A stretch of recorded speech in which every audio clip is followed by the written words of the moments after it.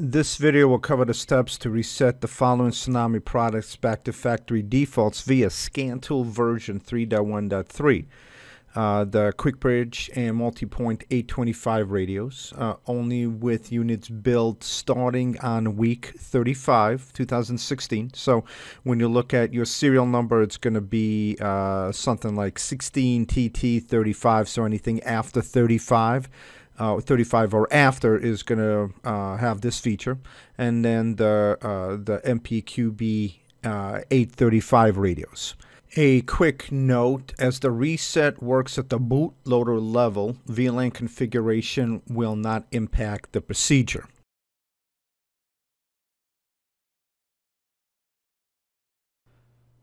All right, so uh, we're going to go ahead and cover how to do a reset on the MP QB835 radios. Now, they are a little bit different because uh, they do not come with a uh, PoE power injector with a reload button. Okay, um, now there's two ways to do a reset on these radios. Uh, the first way is, of course, is going to be via HTTP uh, okay uh, management and then you could have reset the factory okay? Uh, the new feature uh, that is uh, unique to the 835s is within the scan tool and it has to be version 3.1.2 right there is a, a feature for reload and reset and we'll go ahead and cover the reload uh, in a different video all right? Now um, as stated before, it's extremely important that these radios are directly connected to a PC. They cannot be connected to a, a switch or router. The radio has to be directly connected to a PC. All right. Now the process itself is fairly simple. Okay.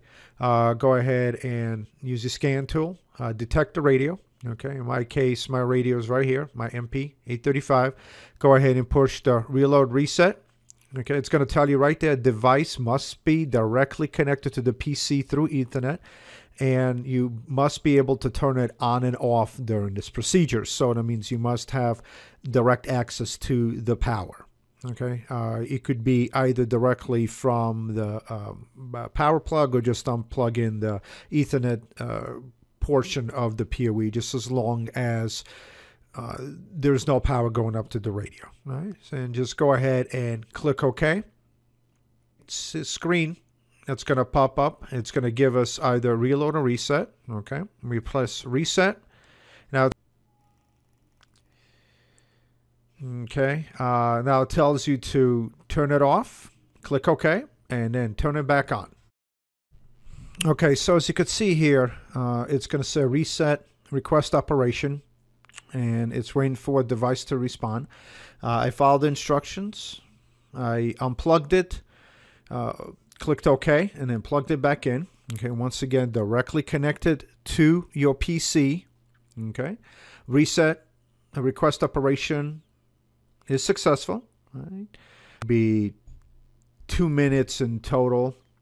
Uh, once it's going to go through this entire process. Now, once it's done, I'm going to get and get another window here telling us that it is complete. Now, this is uh, uh, really handy uh, when we, you need to reset the radio and uh, you do not have access to the actual HTTP uh, portion. Okay, so here we are. We are done. Go ahead and close the window. Uh, we could go ahead and click a do a rescan. Now the whole process does take a little bit because it is reconfiguring, so I'm going to have to give it some time. Okay, so after about two, three minutes, um, the reset takes about that long. Go ahead and click rescan and then it should pop up with the 169 IP. Here's our radio right here, our MP835. Uh, go ahead and click change and as you can see, we're back to defaults. The read, write password is public. Type that in, click OK, and there you are. The radio is going to go and reboot in another minute and a half or so. You're going to have your radio backing up. Uh, like I mentioned before, this is a great tool to have uh, if you lost access to HTTP GUI and you do not have the PoE with the reload button. Uh, that said, uh, do definitely highly recommend having a PoE with the reload button. Uh, go ahead and provide the PN number um, later on uh, for your uh, for you, so you could go ahead and purchase it from a, a Proxim reseller. Learn more about Proxim Wireless and our solutions. Please visit us at proxim.com or follow us at Twitter at Proxim.